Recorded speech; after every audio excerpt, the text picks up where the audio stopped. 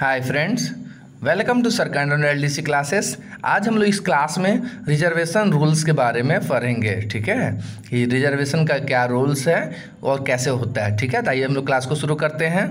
General rules for reservation कहता है कि advance reservation period excluding date of journey date of journey को छोड़कर एडवांस जो रिजर्वेशन का जो पीरियड है, समय है, अगर कोई फॉरेनर टूरिस्ट है तो उनको three hundred sixty days before वो बुक कर सकते हैं।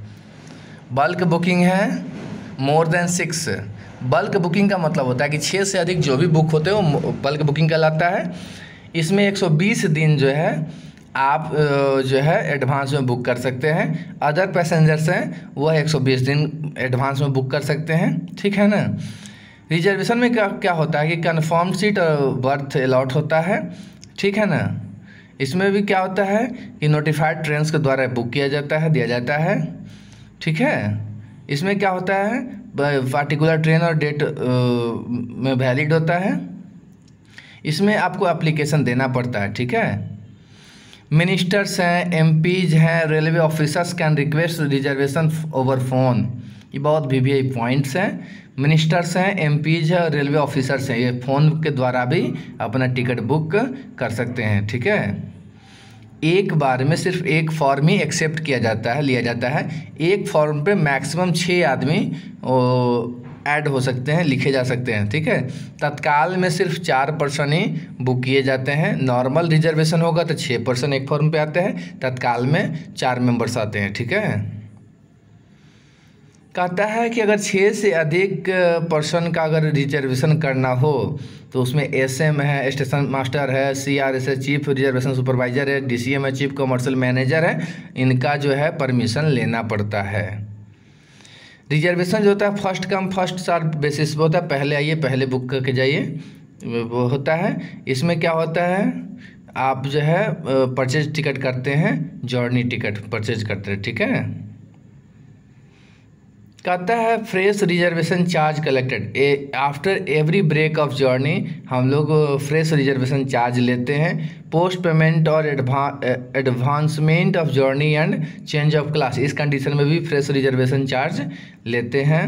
No separate seat berth for child below five years पाँच साल से छोटे बच्चे को कोई सीट बर्थ अलॉट नहीं किया जाता है, लेकिन उसका नेम एज जेंडर ये सब जो है लिखा जाता है, ठीक है?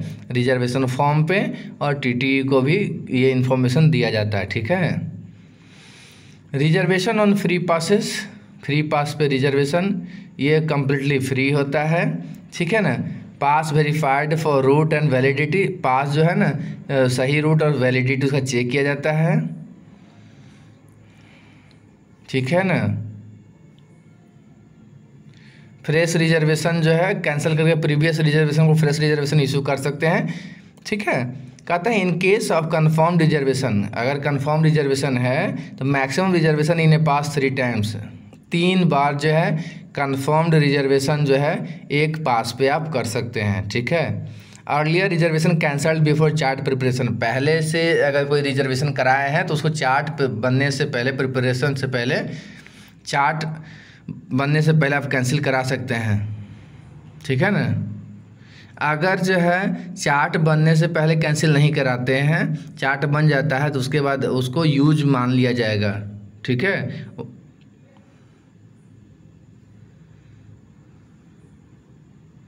कहता है can be revalidated by JAG grade commercial officer once कहता है जैग ग्रेड के जो भी, जो जूनियर ग्रेड के जो भी कॉमर्शियल ऑफिसर्स होते हैं, उनके द्वारा इसको रिवैलिडेटेड किया जा सकता है।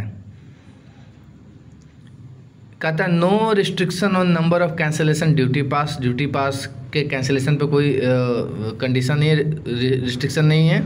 मेटल पास हैं fully partially wait listed privilege post retirement and complimentary passes देखिए वेटिंग लिस्ट पासेस है तो उसको कितना बार भी कैंसिल करवाइए, कोई फ़र्क नहीं पड़ता है। लेकिन अगर कन्फर्म्ड रिजर्वेशन है पास पे तो दो बार अगर कैंसिल करवा चुके तो तीसरा बार आपको ट्रैवल करना ही पड़ेगा, ठीक है?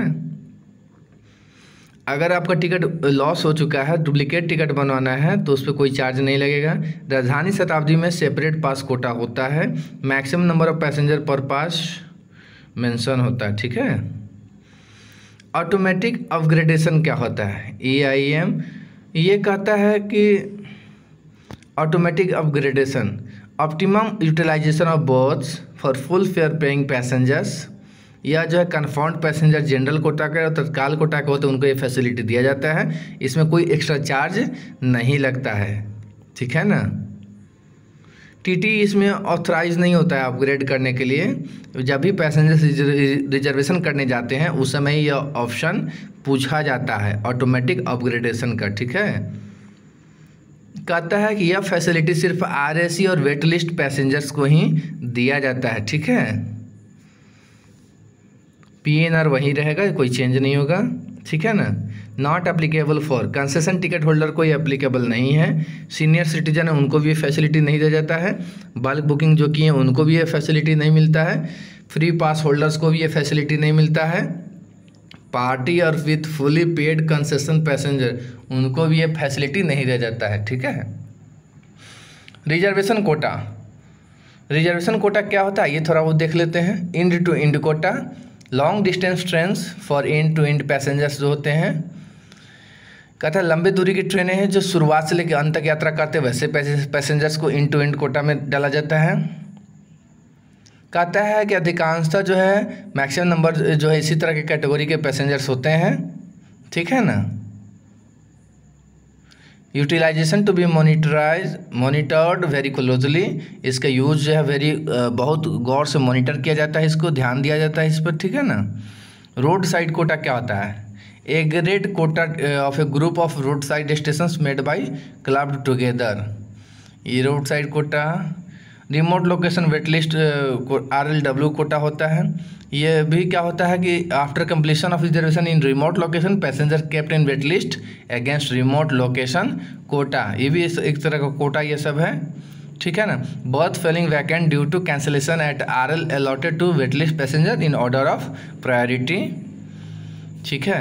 पोल्ड कोटा होता है पी क्यू डब्ल्यू एल होता है shared by several small station in a particular region in train with demand for passengers from intermediate station general quota generally जितने भी रिजर्वेशंस होते हैं, वो जनरल कोटा में ही किया जाता है। मेजर कोटा होता है ये। ठीक है ना? जनरल कोटा का जो इंडिकेशन है जी एन लिखा रहता है पुल्ड कोटा का पी क्यू डब्ल्यू एल लिखा रहता है, ठीक है ना? बहुत V V I R L W remote location wait list होता है, ठीक है ना? ये सब कोड है, ठीक है? लेडीज़ कोटा कहता है section 58 of railways act 1989 separate accommodation is provided for ladies railways के 58 सेक्शन रेलवेज के जो सेक्शन 58 है 1989 का एक्ट का, उसमें क्या है कि लेडीज़ के लिए अलग से कोटा अलॉट किया गया है। लड़का अगर कोई 12 साल से कम एज का है तो उस कोटा में उस लेडीज़ के साथ ट्रेवल कर सकता है। छः बर्थ जो है स्लीपर क्लास में, ठीक है ना? Third bay is are marked कहता है स्लीपर क्लास में छः बर्थ होता है थर्ड एसी में तीन बर्थ होता है, ठीक है? छः बर्थ जो है गरीब रथ में भी रहता है। हैंडीकैप्ड कोटा भी आता है। एस एल आर डी कहता है, ये सभी ट्रेनों में जनरली रहता है। पेशेंट और स्कॉट के लिए रहता है। एक लोअर बर्थ, एक मिडिल बर्थ, स्लीपर क्लास में भी रहता है। Special coaches S L R D for disabled person with escort on purchase of general tickets. Two lower berths and two upper berths रहता है। ठीक है ना? Available in fully reserve Garib Rath train on payment of full fare Garib Rath train में full payment देकर आप travel कर सकते हैं।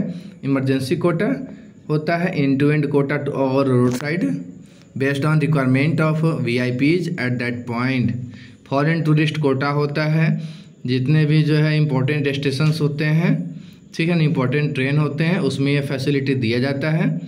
इसमें क्या होता है कि पासपोर्ट टिकट खरीदते समय आपको दिखाना पड़ेगा। इन रेल पास टिकट होता है, टूरिस्ट कूपन टिकट होता है, ये सब जो है आपको ख़रीदना पड़ता है। जो भी फॉरेनर टूरिस्ट होते हैं, वो आते हैं, उनको ये मिलता है। डिफेंस कोटा होता है। ये बड़े बड़े इंपॉर्टेंट स्टेशन पे जो है, या इंपॉर्टेंट ट्रेन में ये सुविधा दिया जाता है। जब भी कोई मिलिट्री वारंट्स हैं कंसेशन से मिलिट्री पर्सन जब ट्रेवल करते हैं वारंट्स और कंसेशन पे उनको ये कोटा दिया जाता है। ठीक ना? ठीक है ना?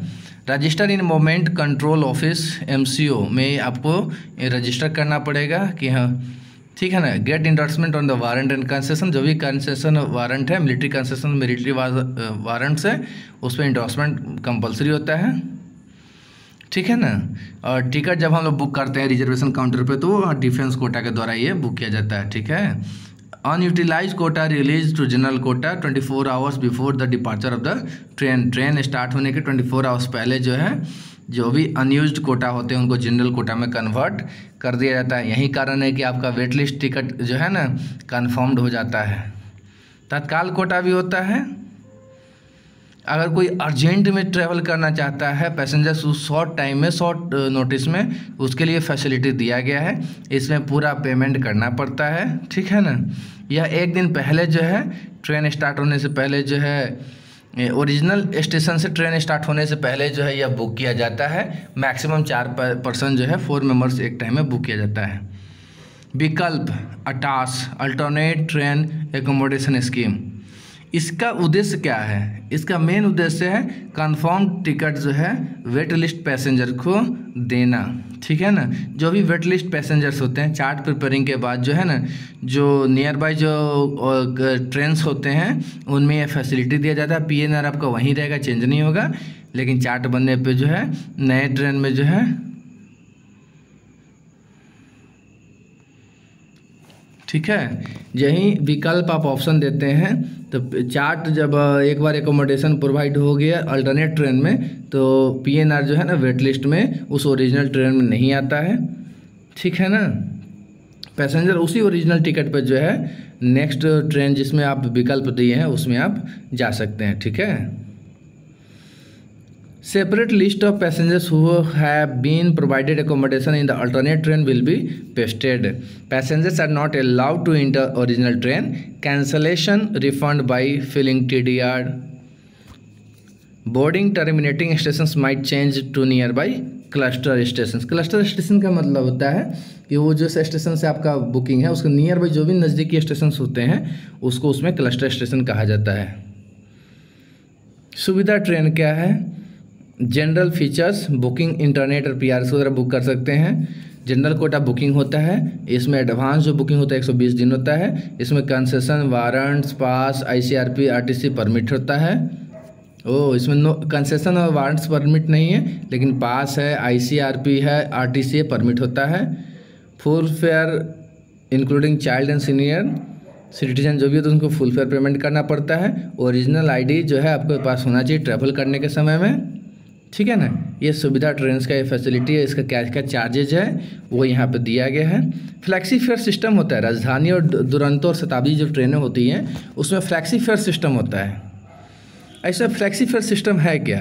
तो कहता है कि बेस फेयर जो है ना, वो इंक्रीज करता है प्रत्येक दस percent with every ten percent of बस। कहता है कि प्रत्येक दस परसेंट सीट के लिए दस परसेंट फेयर इंक्रीज करता है। और ये फ्लैक्सी फेयर जो होता है सिर्फ़ second class sleeper class third AC और सेकेंड एसी में ही होता है, ठीक है? अब कहता है कि बेस फेयर अगर शताब्दी एक्सप्रेस का बेस फेयर स्ट्रक्चर देखा जाए तो बेस फेयर सप्लीमेंट्री चार्ज लगेगा रिजर्वेशन चार्ज लगेगा सुपरफास्ट चार्ज लगेगा कैटरिंग चार्जेज लगता है सर्विस टैक्स लगता है, ठीक है ना? तो ये सब उसका जो है चार्जेस का थी है, देखना चाहिए। तत्काल स्कीम है। तत्काल स्कीम का जो कोटा होता है, कोड होता है, टिकी होता है, कहता बुकिंग जो है पीआरएस और इंटरनेट के द्वारा आप तत्काल कर सकते हैं। ठीक है ना? यह एक दिन पहले होता है, ठीक है? ओरिजिनल स्टेशन से ट्रेन डिपार्चर होने से एक दिन पहले होता है। यह सभी मेलबार एक्सप्रेस ट्रेन में होता है। राजधानी Shatabdi, Duronto Jan Shatabdi and sleeper class in some ordinary train में होता है। A C two A C second A C third A C A C chair का स्लीपर सेकेंड क्लास में होता है। फ़र्स्ट क्लास और ए सी फ़र्स्ट में। Note करने वाला पॉइंट है। फ़र्स्ट क्लास और फ़र्स्ट एसी में जो है, यह तत्काल बुकिंग नहीं होता है। तत्काल कोड जो है, तत्काल बुकिंग का जो कोड है, टिक्यू होता है। मैक्सिमम चार पैसेंजर बुक कर सकते हैं। कन्फर्म्ड और वेट लिस्ट टिकट मिलता है। आर टिकट इसमें नहीं मिलता है। यह fully fare, full fare ticket होता है। इसमें कंसेशन, सीनियर सिटीजन कंसेशन इसे नहीं दिया जाता है। पास बुकिंग नहीं होता है। ठीक है ना? कन्फर्म टिकट इसमें कैंसिल नहीं होता है। ठीक है ना? वेट लिस्ट टिकट को आप कैंसिल कर सकते हैं। एसी क्लास का जो बुकिंग होता है, वो दस बजे होता है, एक दिन पहले। नॉन एसी का जो बुकिंग ग्यारह बजे होता है, एक दिन पहले, ठीक है? एजेंट्स के लिए आइए देखते हैं। एजेंट्स जो है एसी क्लास का बुकिंग टेन थर्टी में करते हैं, एक दिन पहले। नॉन एसी का एलेवन थर्टी में करते हैं, एक दिन पहले, ठीक है? नेम चेंज मॉडिफिकेशन इसमें अलाउ नहीं होता है। बोर्डिंग पॉइंट को आप चेंज कर सकते हैं। तत् चार्जेस फॉर तत्काल कोटा? सेकेंड क्लास के लिए दस परसेंट बेस फेयर का ज़्यादा लगता है अदर क्लास में थर्टी परसेंट बेस फेयर का ज़्यादा लगता है। बुकिंग के समय कोई आईडी का ज़रूरत नहीं है, लेकिन ओरिजिनल आईडी लेके आपको ट्रेन में ट्रैवल करते समय रखना पड़ेगा, ठीक है ना? तो ये जो है आईडी कौन का सा वोटर है? आईडी है पैन है, आधार है पासपोर्ट है ड्राइविंग लाइसेंस है फ़ोटो आईडी कार्ड है, ये सब जो है आईडी कार्डेड है। Photo ID card from state and central government ये वैलिड आईडी कार्ड सब है, आप इसको लेकर ट्रैवल कर सकते हैं। ये बहुत वी वी आई पॉइंट्स हैं, जिसको जानना चाहिए। देखिए सेकेंड सीटिंग है मिनिमम डिस्टेंस हंड्रेड किलोमीटर है मिनिमम तत्काल चार्ज दस रुपया मैक्सिमम तत्काल चार्ज पंद्रह रुपये लगता है पर पैसेंजर स्लीपर क्लास है मिनिमम डिस्टेंस आपको फाइव हंड्रेड किलोमीटर है, पाँच सौ किलोमीटर है मिनिमम चार्ज सौ रुपये मैक्सिमम चार्ज दो सौ रुपये। है ए सी चेयर कार है दो सौ पचास किलोमीटर का दूरी है, एक सौ तत्काल मिनिमम चार्ज है, दो सौ तत्काल मैक्सिमम चार्ज है। थर्ड एसी का मिनिमम डिस्टेंस पाँच सौ किलोमीटर है मिनिमम तत्काल चार्ज थ्री हंड्रेड एक्स्ट्रा लगता है मैक्सिमम फोर हंड्रेड है। Two A C second A C का है फाइव हंड्रेड मिनिमम डिस्टेंस है, चार सौ रुपया मिनिमम चार्ज लगता है फाइव हंड्रेड मैक्सिमम चार्ज लगता है। एग्जीक्यूटिव क्लास है, इसी। 250 किलोमीटर इसका मिनिमम डिस्टेंस है, चार सौ रुपया मिनिमम लगता है, पाँच सौ रुपया मैक्सिमम तत्काल चार्ज पर पैसेंजर लगता है, ठीक है? कहता है change in reservation change of train and date postponement of journey allowed for confirm ticket R S and waitlist ticket allowed in same class same destination higher class same train any other train charges है confirm ticket है fresh reservation fee लगेगा R S C wait list है clerk के charge लगेगा ठीक है? Time limit आइए देख लेते हैं। Forty eight hours before the schedule departure of the train अड़तालीस घंटा पहले आपको ये करना पड़ेगा। Change of date and train जो है एडवांसमेंट कर सकते हैं। ये भी confirm ticket R S C wait list ticket पे होता है। Same class same destination higher class same train any other train confirm ticket में फ्रेश रिजर्वेशन चार्ज लगेगा आर एस वेट लिस्ट पर कलर के चार्ज लगता है। टाइम इसमें भी क्या है? फोर्टी एट आवर्स पहले करना पड़ेगा। Change of train and date in case of difference in fare refunded और recovered as they as the case may be postponement preponement allowed only once change of class permitted only once only for confirmed tickets from lower class to higher class only confirmed accommodation should be available in the higher class ठीक है charges है no cancellation charges fresh reservation charges collected for the higher class difference of fare between the classes collected permitted in the reservation office up to six hours before the schedule departure of the train journey that uh, during the journey tt may permit After the change, if journey is cancelled, true cancellation charges will be collected. Change of name permitted only once on a confirm ticket. Name change जो है confirm ticket पर केवल एक बार हो सकता है कोई charge नहीं लगेगा कंसेशनल टिकट है तत्काल टिकट है ठीक है ना उस पर परमिट नहीं किया जाता है अगर परमिट परमिट भी किया जाएगा तो gazetted officer with documentary evidence S M C R S can get permission from a gazetted officer gazetted officer से स्टेशन मास्टर और चीफ रिजर्वेशन सुपरवाइजर परमिशन लेके कर सकते हैं। डॉक्यूमेंट्री एविडेंस में आपको जो फैमिली कार्ड देना पड़ेगा वोटर आईडी है पासपोर्ट है ड्राइविंग लाइसेंस है, और जो भी एफिडेविट वगैरह है नोटरी पब्लिक और a copy to be attached with the original application ठीक है? डुप्लीकेट टिकट लेना है तो issued for confirmed and R ticket duplicate ticket हमेशा कन्फर्म टिकट और आर टिकट के लिए मिलेगा। वेटलिस्ट टिकट के लिए जो है डुप्लीकेट टिकट नहीं मिलता है। ये किस कंडीशन में इशू किया जाएगा? जब आपका टिकट लॉस हो चुका है, मिसप्लेस्ड हो चुका है, फट चुका है, वो जो है, वो म्यूटिलेटेड हो चुका हुआ है, उस कंडीशन में जो है ये होता है। ठीक है? आइए देखते हैं। सेकेंड क्लास और स्लीपर क्लास के लिए फिफ्टी रुपीज़ पर पैसेंजर लगता है। अदर क्लासेस के लिए हंड्रेड रुपीज़ पर पैसेंजर लगता है, ठीक है? आइए ये किस कंडीशन में जब वो टिकट लॉस कर गया हो, फट चुका हो, मिस मिसप्लेस्ड हो चुका हो म्यूटिलेटेड हो चुका हो कन्फर्म आर हो सेकेंड क्लास और स्लीपर क्लास है। Before preparation of chart charges chart charges बनने से पहले चार्ट के बनने से पहले जो है चार्ज लगेगा सेकेंड क्लास और स्लीपर क्लास के लिए fifty rupees per passenger hundred rupees per passenger for other classes अगर चार्ट बन चुका है after chart preparation confirm ticket है।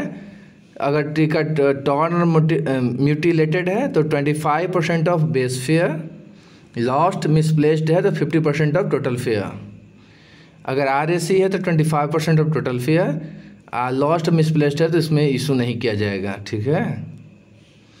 Duplicate ticket on pass and P T O provide only when pass P T O is in physical possession of the passenger duplicate ticket issued irrespective of the status confirmed R और wait list देखिए, pass P पे जो है ना duplicate ticket issue किया जाएगा, चाहे ticket आपका कन्फर्म हो आर और वेट लिस्ट हो यह जो है यह ट्रेन डिपार्चर होने से पहले इशू किया जाएगा, इसमें कोई चार्ज वगैरह नहीं लिया जाएगा फ्री ऑफ़ कॉस्ट दिया जाएगा। लेकिन अगर पास पे फ्री ऑफ़ कॉस्ट मिलेगा, बहुत वी पॉइंट है ऑब्जेक्टिव पूछे भी जाते हैं। पास पे duplicate ticket free of cost मिलेगा, लेकिन पीटीओ पे आपको दस रुपया पर पैसेंजर देना पड़ेगा। ठीक है? Premium Tatkal quota. Based on dynamic fare pricing होता है। ठीक है? नॉर्मल तत्काल तो इसमें भी एडवांस कर सकते हैं। एजेंट्स इसमें अलाउ नहीं होता है टिकट बुक करने के लिए इस कोटा में। इसमें R S wait list ticket नहीं मिलता है, कोई कंसेशन भी नहीं दिया जाता है। चार चाइल्ड का फुल फेयर चार्ज लिया जाता है, इसमें रिफंड कंफर्म टिकट का नहीं मिलता है, ठीक है? Refund of fare unused reserve ticket अब आइए देखते हैं, अगर कोई टिकट अनयूज रह गया है तो उसका रिफंड कैसे मिलता है? अगर 48 घंटा से पहले, ट्रेन के डिपार्चर से अड़तालीस घंटा पहले, अगर आप टिकट कैंसिल करते हैं, ठीक है? तो फ़र्स्ट एसी का दो सौ चालीस रुपया सेकेंड एसी और फ़र्स्ट क्लास का जो है दो सौ रुपया थर्ड थर्ड एसी और एसी चेयर कार का one eighty rupees sleeper class का एक सौ बीस रुपया सेकेंड क्लास का साठ रुपये कलर के चार्ज लिया जाता है रिमेनिंग अमाउंट आपको वापस कर दिया जाता है। लेकिन अगर आप 48 घंटा से लेकर 12 घंटा के बीच में ट्रेन के स्टार्ट होने से अड़तालीस घंटा से लेकर बारह घंटा के बीच में अगर आप करते हैं तो twenty five percent cancellation charges लगता है। Minimum subject to minimum of two two forty two hundred one eighty one twenty sixty rupees कहता है, ये अगर अगर आप अड़ता ट्रेन के स्टार्ट होने के अड़तालीस घंटा से लेकर बारह घंटा के बीच में अगर आप कैंसिल करते हैं तो फेयर का जो है पच्चीस परसेंट कैंसिलेशन चार्ज लगेगा। या ये जो mini subject to minimum fare का मतलब हो गया कि इस दोनों में से जो ज़्यादा होगा वो लिया जाएगा। कहने का मतलब है कि किसी टिकट का कैंसिलेशन अगर ट्वेंटी फाइव परसेंट चार्ज अगर दो सौ साठ रुपया होता है तो वो आपसे दो सौ साठ रुपया लिया जाएगा। अगर किसी टिकट का कैंसिलेशन चार्ज एक सौ बीस रुपये ही पड़ता है, लेकिन यहाँ first first first A C का टिकट है तो दो सौ चालीस रुपये आपसे लिया जाएगा, ठीक है? अगर कैंसिलेशन बारह घंटा से लेकर चार घंटा के बीच में किया जाता है ट्रेन डिपार्चर होने से पहले, बारह घंटा से चार घंटा के बीच में तो उसमें फिफ्टी परसेंट फेयर का जो है कैंसिलेशन चार्ज के रूप में लिया जाता है subject to minimum of given box given data तो इसमें से दो, जो भी ज़्यादा होगा, वो आपसे कलेक्ट किया जाएगा, ठीक है? तो ये, अगर ट्रेन डिपार्चर हो गया है तो कोई कोई रिफंड नहीं मिलता है, ठीक है? कुछ ओकेजन्स होते हैं, कुछ कंडीशंस हैं जिसमें जो है रिफ़ंड वगैरह दिया जाता है। ट्रेन अगर तीन घंटे से अधिक लेट हो तो पूरा रिफंड दिया जाएगा। ठीक है ना? कैंसिल ऑफ़ द ट्रेन अगर कैंसिल है, उस कंडीशन में भी फुल रिफंड दिया जाएगा। Up to three days excluding the day of departure train in lower class train in lower class जैसे मान लीजिए कि आप, अगर आप फ़र्स्ट फ़र्स्ट एसी का बुक किए हुए, लेकिन उसमें फ़र्स्ट एसी ही है, ये नहीं है, उस कंडीशन में difference of fare between two classes आपका जो पेमेंट अमाउंट होगा, वो आपको वापस किया जाएगा। Within two days of the issue of certificate from T उसमें सर्टिफिकेट लेना पड़ता है।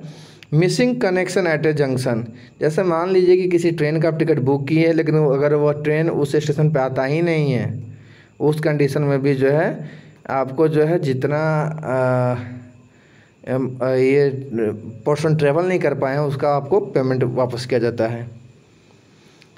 इनेबिलिटी टू प्रोवाइड एकोमोडेशन अगर आप जिस जिस बोगी का बुकिंग की, अगर वो बोगी नहीं हो, उस कंडीशन में भी फुल रिफंड दिया जाता है। पार्सली यूज़ टिकट्स कहता है पार्सली यूज़ टिकट जो होता है, मान लीजिए कोई बुक किए हैं, अगर उसको पूरा पूरा यूज़ नहीं कर पाए हैं, उस कंडीशन में जो रिफंड नहीं मिलेगा, लेकिन टीडीआर आप फ़ाइल कर सकते हैं, वो पूरा चेक होने के बाद आपका पैसा वापस आता है। कहता है dislocation of trains full refund मिलेगा कब? When railway is unable to carry the passenger to the destination to the kith kin of injured और death passenger partially refund passenger not waiting to make use of alternate arrangements done by railways कहता है कि dislocation of trains अगर मान लीजिए कि railway जो है किसी पैसेंजर्स को, उस पर्टिकुलर पैसेंजर को डेस्टिनेशन तक पहुँचाने में असमर्थ है, उस कंडीशन में पूरा रिफंड दिया जाता है। ठीक है ना? अगर मान लीजिए कि जो है पार्सली रिफंड अगर रेलवे कोई अल्टरनेट सुविधा प्रोवाइड कराती है पैसेंजर्स को, और पैसेंजर्स उसमें इंटरेस्टेड नहीं कि नहीं हम इस सुविधा का यूज़ नहीं करेंगे, उस कंडीशन में पार्सली रिफंड किया जाता है। फेलियर ऑफ़ एसी उसका ये चार्ज है फ़र्स्ट एसी तो first AC minus first class second AC तो सेकेंड एसी स्लीपर क्लास का difference third AC third AC sleeper class का डिफरेंस ए सी चेयर का ए सी चेयर का second class mail बार express का difference जो है पेमेंट पे किया जाता है। अनरिजर्व अनयूज अनरिजर्व टिकट हो तो क्लर्क के चार्ज थर्टी रुपीज़ पर सेकेंड क्लास जो है लिया जाता है। इसमें विद इन थ्री आवर्स आपको कैंसिल किया जाता है। Unused R A C wait list है, जिसमें कलर के साथ सिक्सटी रुपीज़ लिया जाता है।